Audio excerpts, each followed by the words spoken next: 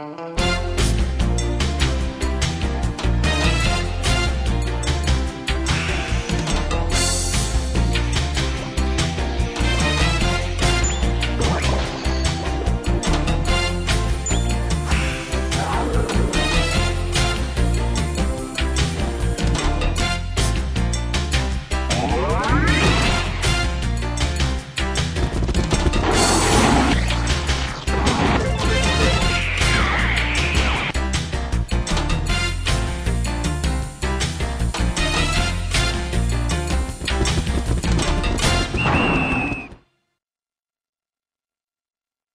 This game has not yet been rated.